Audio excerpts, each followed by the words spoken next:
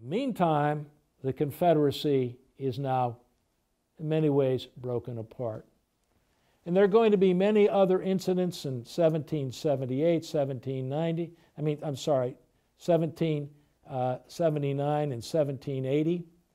We can't go into all of them, but generally speaking, you'll have the Oneidas on one side fighting alongside the Americans, and you're going to have the Senecas and the Mohawks fighting on the other side beside the British.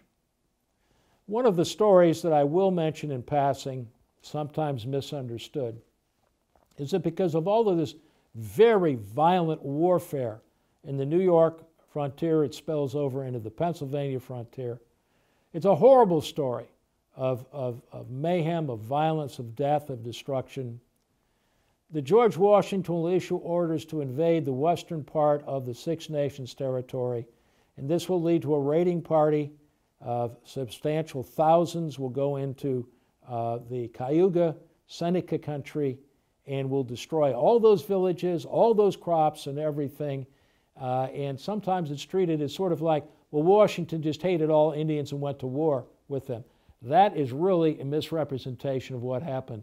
Sullivan is devoted to destroying villages. It's a wartime activity, is devoted to destroying crops, just as Joseph Brant and the Mohawks and the Senecas were doing the same thing in the eastern part of the valley, destroying everything.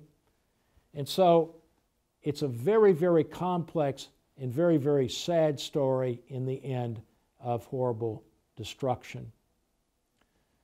But for the Six Nations, they now are divided.